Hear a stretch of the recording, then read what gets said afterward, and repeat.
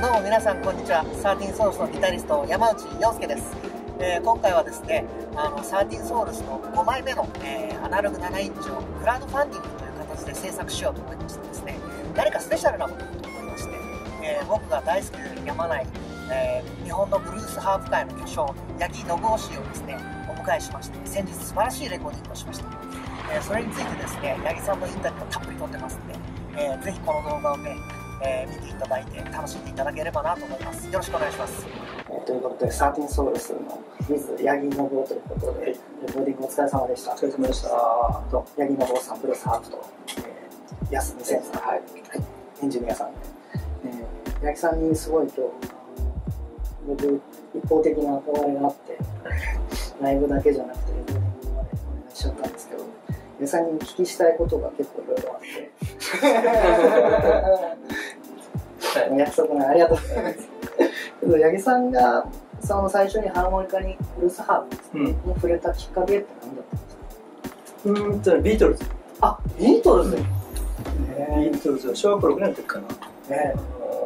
ニュまだあの頃ニュース映画白黒だったんだけど、ね、テレビのニュース映画でイギリスでこんなバンドが流行って、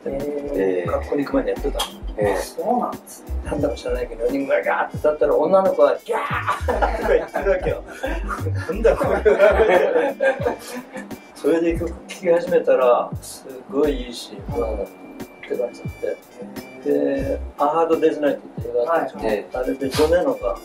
記者の中でハーモニカのシーンがあってそれを見てねあ同じようなハーモニカだけど日本であまり見たことないなと思ってあちこ探しに行ったそしたら新宿の小田急デパート学級売り場にえ。ああ同じものが学級売り場だったかなんだかじゃないんだけどもショーケースにねそそしかもそのドイツのオーナーっていうオーナー。メーカー。のルースハーフが今よりも種類多くて多分10種類以上かな。なんかチョコレートの箱みたいな感じで、綺麗なんだよ。なるほど。もう見た目にもそう見た目もやられちゃって。それでぐらいしたんですか当時の中学生のお金で買えるぐらいだからそんなに高くないと思うけども安くもなかったと思う1ドル360円ぐらいのところかなああ倍ぐらい倍ぐらい倍以上違いますねで揃えていくわけですね揃えないそれ1個あれば、はい、全部吹けると思ったああなるほどそれでビートとかでも合わないんだよというかキーが実はその一番重たい G のキーのハーモニカを買ってしまって、はい、ハーモニカのキーがあるってことも自体も知らなかった。はい、1個あれば全部できると思ってギターみたい。にね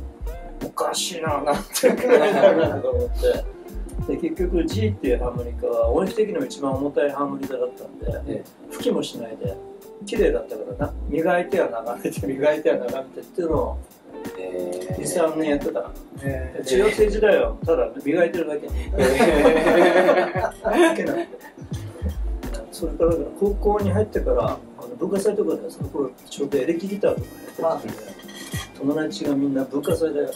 器持ってきてバンドやったんだよ。もうなんかやりたいなと思ってあハーモニカあったなと思ったそれでそれが結構一番最初の吹こうと思ったきっかけかちゃんと吹こうと思ったで八木さん、まあ、僕は本当にそのつい最近というか大人になってからソロを聴くように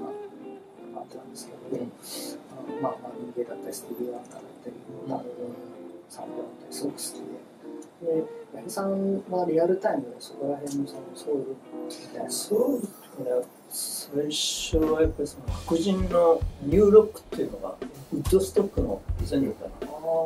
そういう白人のやってるロックが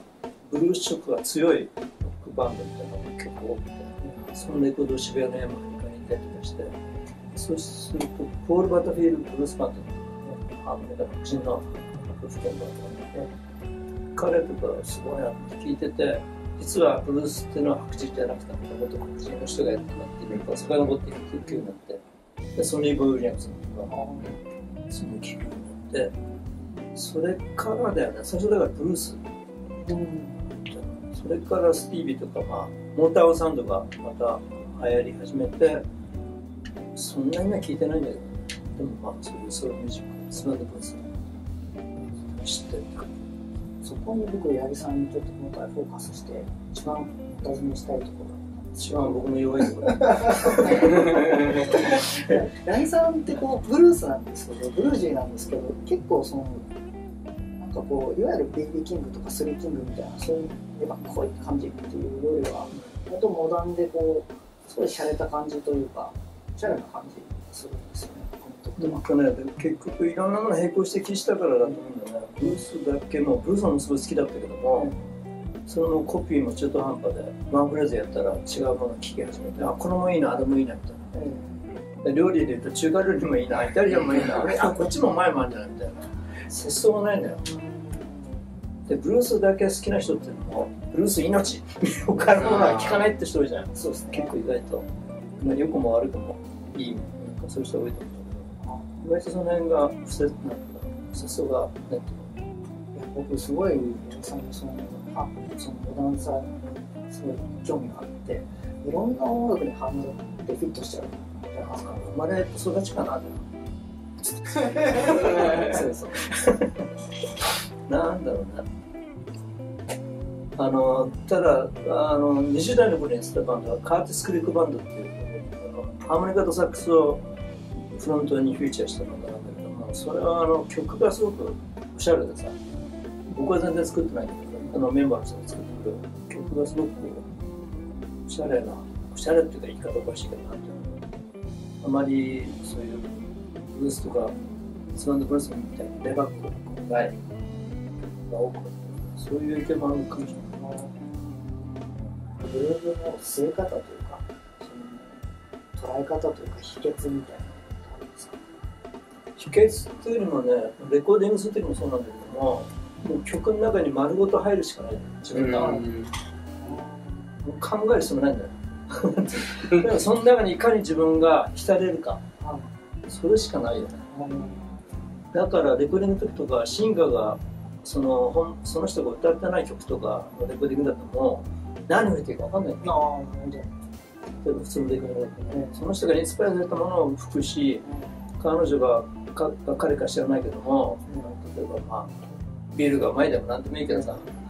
あれのビールがうまいっていうのは拷問よって言うしかないからうん。これはどうですねそれに対する返答だから。なるほど。そういう感じで全てでさっきもあのレコーディングも実はモニターでずっと八木さんの顔を見てたんですよね。音も聞いてたんですけど、うん、やっぱあいいと思う時って八木さんのちょっと楽しそうな顔してるされてるかなんか場面が多くてそれ大体 OK テイクなんですねああいうで八木さんもやっぱこうすごくこう持ってらっしゃる感じで「あこれいただきます」っていうだとして正直な 昔は違ったん鉄仮面みたいな。顔に出さない何も言わないし。何考えてんだろうこの人。えー、そうなんですね。はい、えーと、以上をもちましてですね、今回の動画は終わりになるんですけども、次回の動画ではですね、実際にレコーディングをしました、ビクタートルスタジオです。それのエンジニアの安木選手の話も踏まえてですね、えー、昔と現在のレコーディングの違い、えー、アナログとデジタルの違いなんかについて、ね、ちょっと触れてみたいと思いますので、ぜひ楽しみによろしくお願いします。バイバイ。